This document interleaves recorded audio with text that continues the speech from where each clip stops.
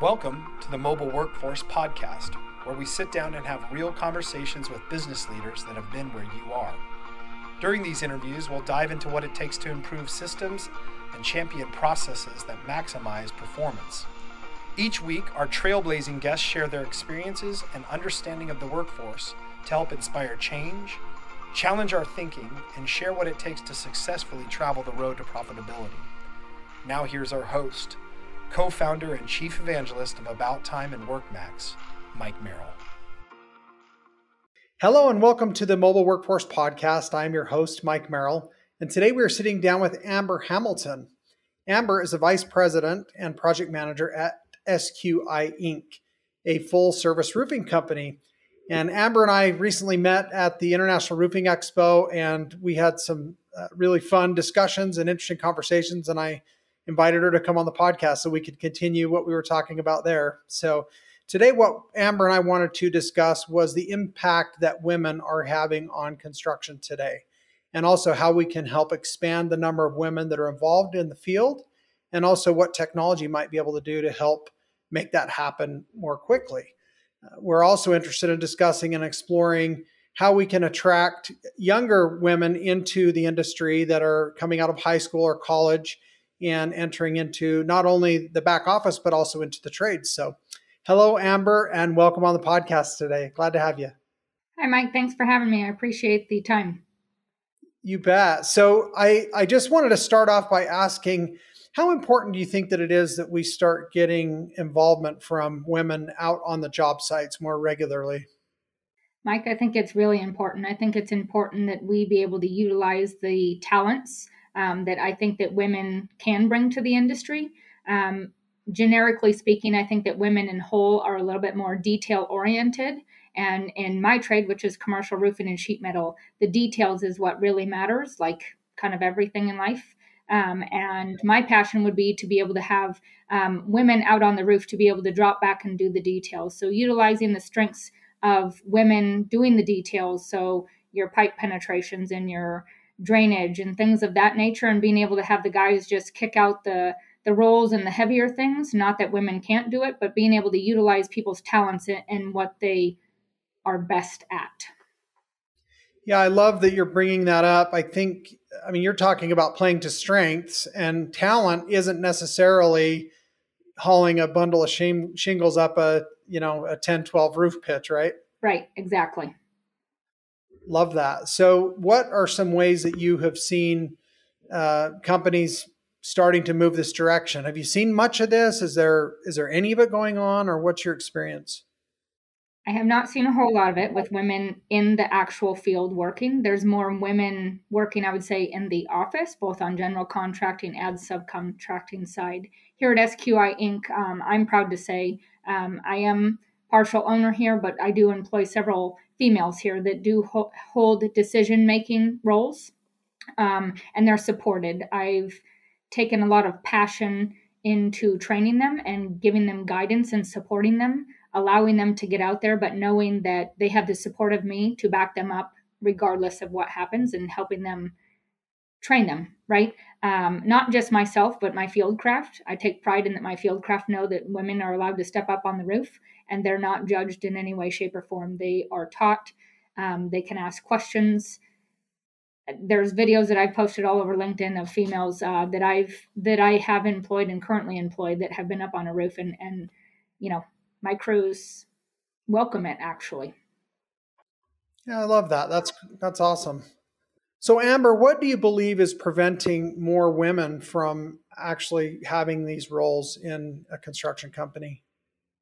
Mike, I think there's a few things. I've I've thought about this long and hard. It's something that I think about almost on the daily.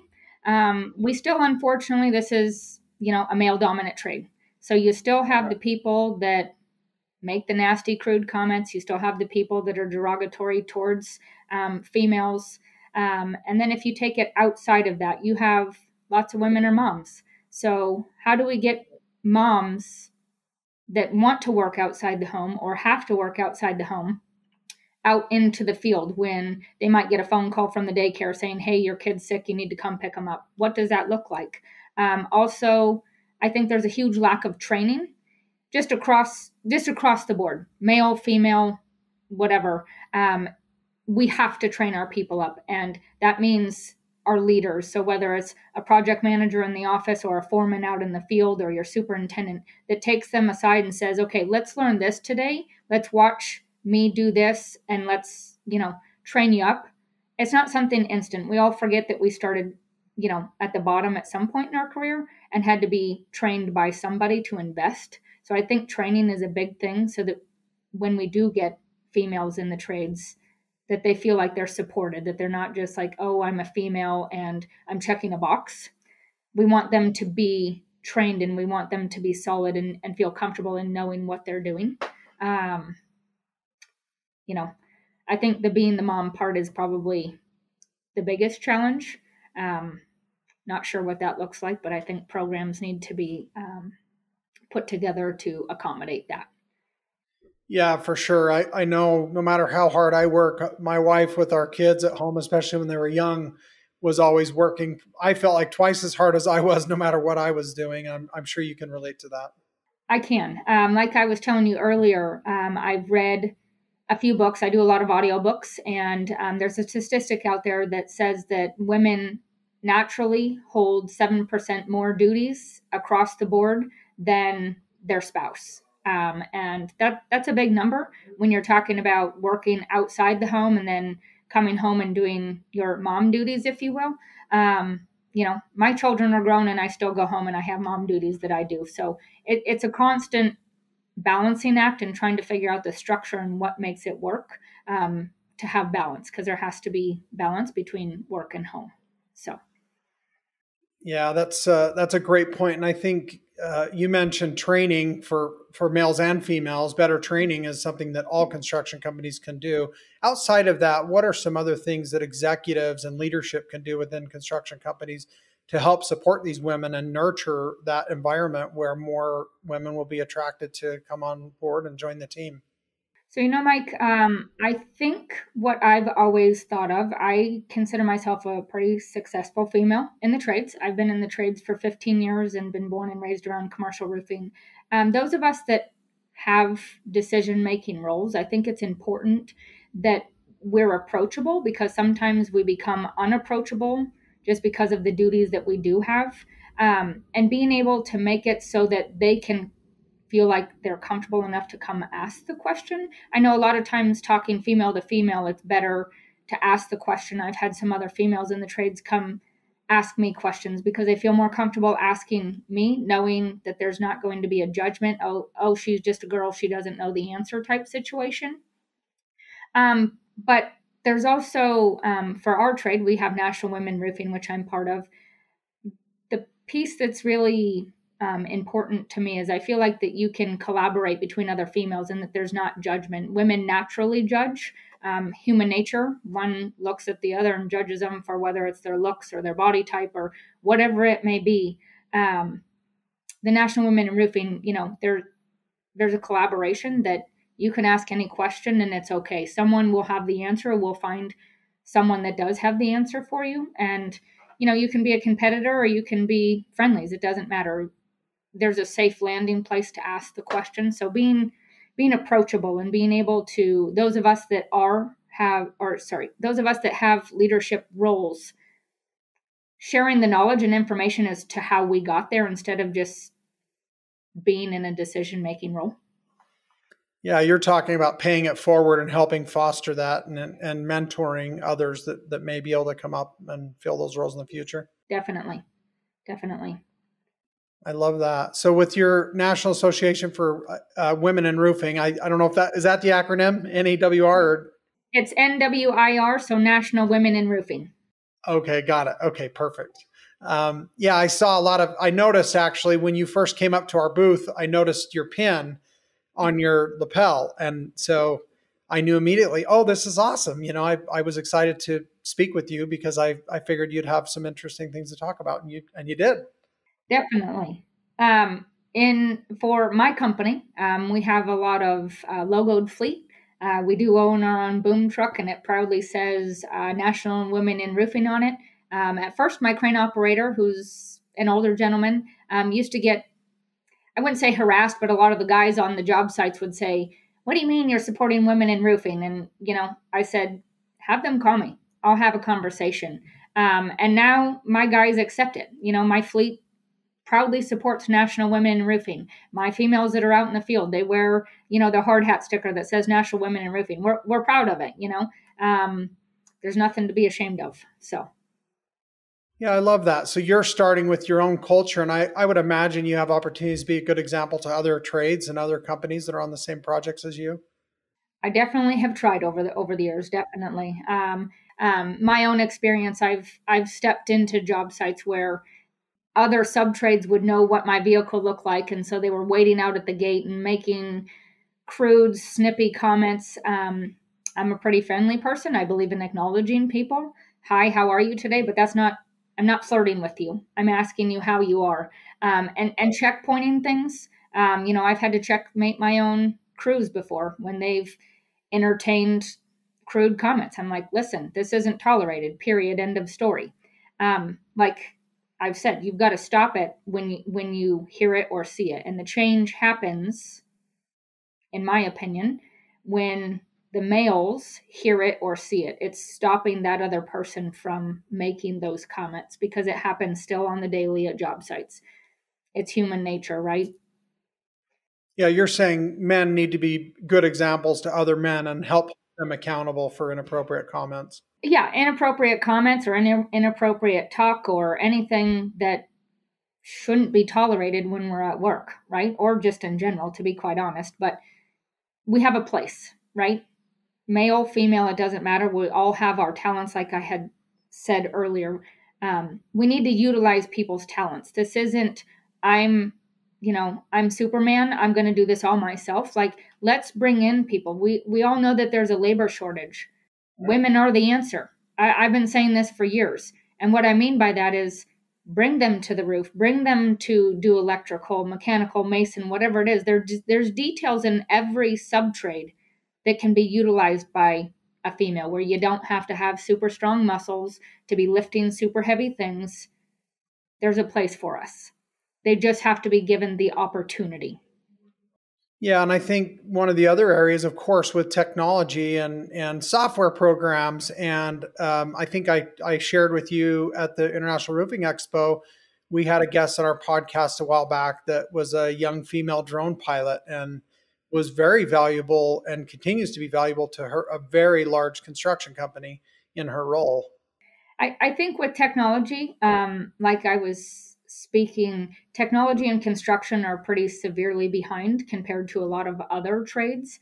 So right now, there's a whole lot of, I would say, um, chaos going on, I guess, with technology because there's so many applications coming at subcontractors to try and figure out what best is going to fit your business to utilize, you know, all of people's talents. And there are people, you know, that are better at the technology piece. So what what we've done is we have figured out that, you know, we have some of our older field craft because the the average age of construction I think is between mid to late 40s, early 50s, I believe. Um, when we do get some of these younger guys, hopefully gals sooner um, than later, um, being able to utilize the applications and log the time in the technology because these guys that are in their 40s, 50s, 60s aren't so savvy with some of these technologies. And having these younger people that have were essentially born with a phone in their hand, right? Um, being able to utilize the technology piece. So construction in whole has a long ways to go, in my opinion, with technology we're getting there. And I think um, having the technology will help us grow, getting the younger generation in. If you're still on pen and paper, which we've gotten away from and we're working towards the technology and change, we'll bring in some of the younger generation because, like I said, they're used to the technology piece. They don't even understand the pen and paper part because everything at school is like on a laptop or their phones or whatever it is, right? Um, so I think we can make headway with it it's just a matter of how do we how do we get in to get these people, whether it's male or female, right? Because we need people um, into the trades. So um, hopefully, technology will be one of the pieces because our um, our industries can't be you know outsourced out of the country. we need the people here with their hands to build the things. So I'm hoping that there's going to be a shift in where people are directing their um, their intentions, I guess, as as a career. Yeah, that's fantastic. And I know one of the other areas that we talked about earlier related to technology, though, is with cloud solutions and cloud systems.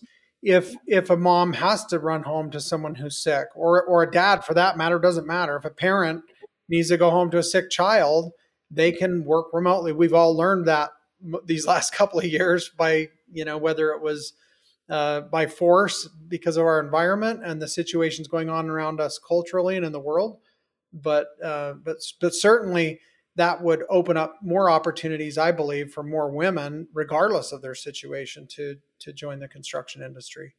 Definitely. Um, like I had said, I have I have two women here that have young children, and we've been able to utilize the technology with them being able to be home. So they're still being able to bring home a paycheck because they're able to work from home. Now we don't expect them to work their regular hours, but if they can work from home and do some things, they're still getting paid and there's the benefit to that being able to take your technology or your laptop or whatever it is your your device that you're working from um, to go home and get some things done. When you're tending to a sick kid you don't just get to sit in front of a computer. But um, yes it's definitely a blessing. And um, we haven't really missed any any beats because they've been able to work from home. So definitely. Yeah, we and obviously it's it's easy to see the gaps because there are so many and they are so large currently. Are there some areas that construction is doing well at employing women that that you feel? On the supply side, I see more women um, coming into the trades, and um, I used to work on the supply side. I think that they are attracting like the college age um, students. I know that I there's some some of the um, supply houses have talked about um, athletes bringing in the female athletes because they have a drive and determination. I don't know if that's the perfect formula. Um, I don't know if there is a perfect formula. On the general contracting side, you see it more. Um, like when we were talking about the IRE when I was at the show and we were having conversation that um, when you talk about women in construction and you go to the subcontracting piece and then you dive down to the decision makers of the subcontractor females, we become a much smaller percentage. And then you add the whole um, diversity piece to it of you know women of color and we had that conversation that you've had some women that are you know women of color business owners which is awesome um you know how how do we get more women into those positions and giving opportunities for them to grow, giving them the chance. You know, it's not something that you come in and you just automatically get the seat at the conference table or that you're some big decision makers. No, we start at the, you know, at whether it's a office admin and you're working your way up to estimating and project management, which is how I've done my career. So you're learning the parts and pieces so that as you grow and you're learning all the parts and pieces, you're successful because you know how all of the parts and pieces work when you get to the decision making piece. Yeah, that makes a lot of sense. And I think one of the other things that we talked about before and, and a little bit here, uh, there are there are endless opportunities in companies where they are understaffed. And so it's really, I mean, I just keep shaking my head thinking, you know, pick what you like. I mean, pick an area, throw a dart at the wall, and you'll hit somewhere that, uh, you know, a woman could come and help just about any company I've ever talked to in this current market. Definitely. I, I promote women all the time. I tell people, you know, I our doors are open for anybody and everybody. Obviously, I employ a lot of women, but if there's a male, I I don't care. If you can do the job, you're hireable you know? Or if you want to show that you are putting want to put forth an effort to grow that's the other piece. Um, effort has to be given on both sides right? The opportunity can be given but the effort has to be put in for the opportunity to want to grow. So. As as a, a part owner of a construction company um, yourself are there things that your company is doing or has thought about doing to you know have outreach to colleges or high schools or trade days or things job fairs or things like that to this point or is that something you have yet to explore going to the IRE there's a couple of classes that myself and um, my service manager summer um, had gone to and having a couple of conversations. We met a gal um, from Graham Roofing who's a project manager and superintendent. Um, and then the owner, Christy, spoke, um, and she's also on the council at, or sorry, on the board for uh, NWIR. She was just voted, I think it was vice president um, of the of the whole entire council. So um, what they've done, they're they have a business model much like us. They're a smaller company, gone from paper to kind of moving into technology, and they have outlets where they've gone to some of the colleges and, and schools and whatnot. But what they've learned is the younger you start, the better chance that we have for retainage. So instead of starting at the college level or high school level, we need to get at the junior high or elementary level. So what Summer and I were talking about, we do a lot of public works jobs and we're on several schools and we're on an elementary school right now. So as everybody knows with COVID, we can't travel, there's no field trips, all these things. We thought about, okay, cool. Maybe let's reach out to the general contractor and see if they're willing to kind of do a quote field trip, if you will, with some of these kids and just kind of walk the job site, not just for roofers, but for all the sub trades. Kind of obviously, we need to make it safe because we have kids, but talk about some of the things or have them kind of in one of the fields and we can operate different things, bring in people from different trades, you know, to um, promote the trades. And it's okay to work with your hands, you know, it's okay to get dirty. Um, the, the trades are a, a beautiful um, opportunity to grow and make money, you know. Yeah, and I and and really bringing it back to why any of us that are entrepreneurs are in business is to to make money, to provide for our family and provide for our employees and to grow and to fulfill our you know capabilities, right? Definitely. This industry is fantastic for that, especially in this market. So there's a lot of money and opportunity to be made by men and women, and we we just need more women to plug into that and take that bull by the horns. the, the, trades, I think, still have that nasty stereotype from back in the day, if you will, where this is where, you know, the felons and the people who can't go to school have to land. And that's not the case any longer. It, unfortunately, it just still has that stereotype, which is where you know we're fighting an uphill battle, trying to change that trajectory as long as well as bringing in diversity, whether it's um, color or gender or religion or whatever it is bringing in the diversity, right?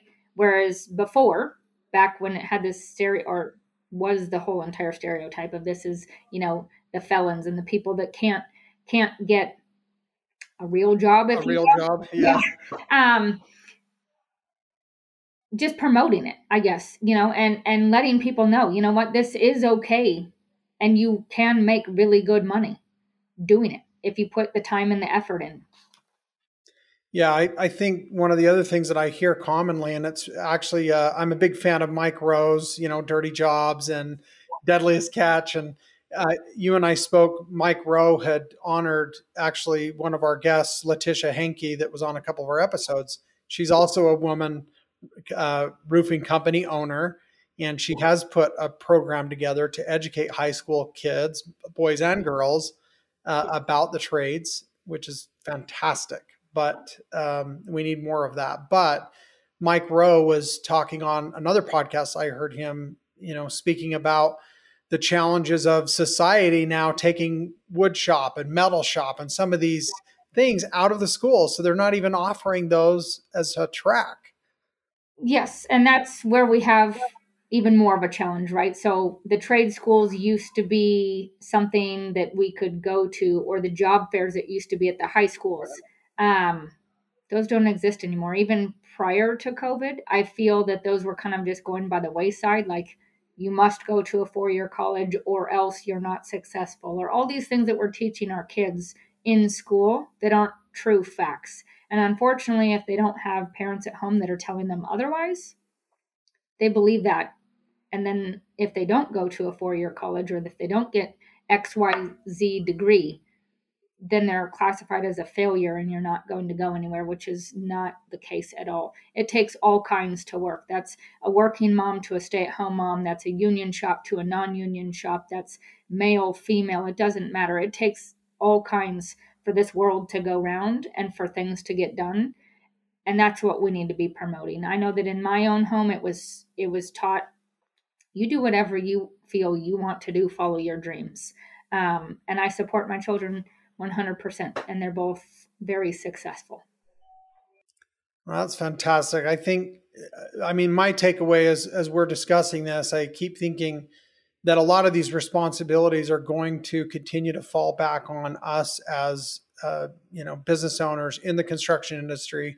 We're going to have to figure out how we can raise awareness and promote these trades into these these places where young children can learn about them and be interested in them. I mean, I, I had the Tonka trucks as a kid and played in the sandbox, and everybody wanted to drive the tractor. And uh, I think it's natural, but we we generally, if we want to continue to fill these positions and grow our businesses, we, we've got to find people to fill these roles. And right now, the that is becoming more and more difficult, as I'm sure you can attest.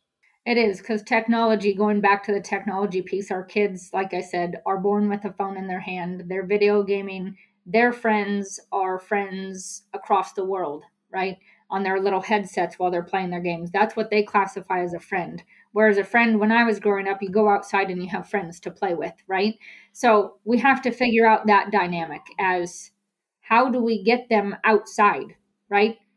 Because a lot of kids are entertained with their phone or a TV or a tablet or all the things that you see when you're out and about, right? Whether it's an airport or a restaurant or whatever, the kid, you know, the parents are handing them some some form of technology to keep them quiet, right? And so if we're starting with technology, how do we get them out into the workforce to use their hands, to use their physical body to do their job? That's that's the real question, right? Because we've kind of gone away from, hey, go outside and play. You don't see kids playing outside as much, depending on where you're at. I know here in the Pacific Northwest, I mean, there are some neighborhoods, but it's not as common as when uh, you and I were growing up, right? Go outside and play. Don't come home until the street lights are, you know, on. That type of scenario. That doesn't happen anymore. Well, and I think raising awareness and having these conversations is the best way that we can at least get get those conversations started. I mean, that, that's where that's where it can reach into our communities. And we need to go to city councils, we need to go to school board meetings, we need to go places where we can raise awareness to this fact because this really isn't a construction industry problem. This is a society problem, right? 100%. 100%.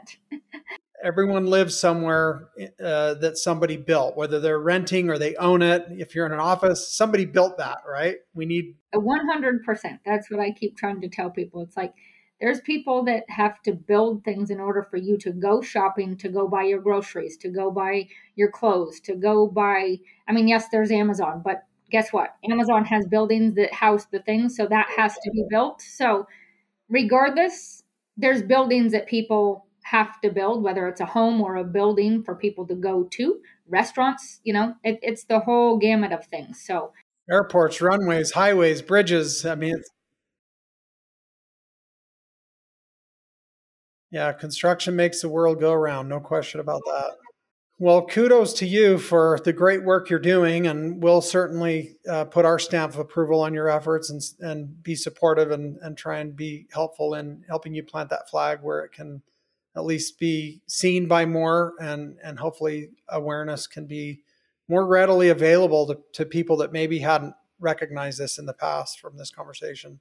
Thank you. I appreciate that so so uh, I guess just as a takeaway for the listeners, what's the one thing that you hope people will have as a as an action item or a takeaway from our conversation today?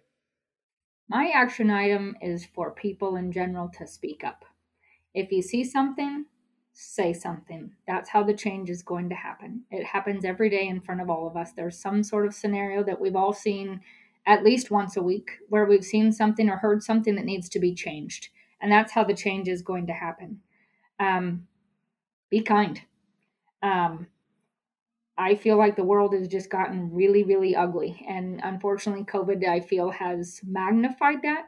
Give people grace. We've all gone through trauma over the last couple years. Nobody kind of knows where it's going or, you know, what the end result is, if you will. Um, some of us live in states like myself where we have severe mandates. Um, so just be kind, you know, give people the grace that we don't know what they're going through and just allow them to speak. I love that. So, just a couple more personal questions to wrap up, if you're okay. Um, all right. So, what is one thing that you're grateful for in your professional life that you really appreciate? You know, I can honestly say that I have been supported my entire career by the companies that I've worked for. I've typically been the only female, and I have been supported um, by the males that I have worked for. Um, by me asking questions of the field craft to better myself, or in the office learning how to do things, whether it's putting a job together or an estimate or you know my role now as vice president that's a whole new role for me and it's a whole new responsibility. But being able to be supported um, and respected um, i've worked pretty hard to earn earn the respect by treating people as a human being first versus an employee um, or a coworker um, because we all have life that happens right? So that's what i feel is probably my greatest um, I guess, a, accomplishment or um, I don't know. I don't know how to say it. Uh, you know that I've been supported. I haven't been blackballed because I'm a female, um, and I'm blessed for that because I know that there's a lot of women that get treated much differently than I have in my career. Well, you're a great example of uh, you know leadership by example. Uh, I can tell um, just in the short time we've been able to get to know one another and to to talk. Um, I I appreciate um, our friendship and look forward to continuing that forward and maybe having you on again down the road. All right, one last thing. So, what is Amber's superpower? Do you, you have when you put your cape on? What are you getting ready to do? I've always been kind of the go-to person for I I'm good at multitasking as far as not just doing a multiple things, but I can hear multiple conversations going on at a time. So I, I, I feel like my superpower is is that I know information without having to be directly involved in the conversation because I'm just kind of aware of what's going on. So being able to have the answer nine times out of ten when people come to me with a question, um, not everybody can do that. So um, I think that's a superpower. Um, you know, being able to listen and hear what someone's going through or um, experiencing. That's fantastic. Well, I can see why you're successful, and I, I expect it's only going to get better as you continue forward. And Thank wish you. you the best of luck. Thank you. All right. Thanks for joining us again, and, and again, we'll uh, we'll look forward to connect up again down the road. Thanks. Thanks for having me. I appreciate it. Thank you for joining us today on the Mobile Workforce Podcast, sponsored by About Time Technologies and WorkMax. If you liked the conversation we had today, or were able to learn anything new or helpful, please make sure to follow us on our WorkMax page on LinkedIn and on Instagram at WorkMax underscore. And subscribe to the show on iTunes or your preferred podcast platform so you will never miss another insightful episode. Also, if you enjoyed the podcast, please leave us a five star rating and review and share the show with your friends and colleagues. Your support means the world to us and will allow us to continue providing impactful information with others looking to improve their results in their business and, in turn, their life.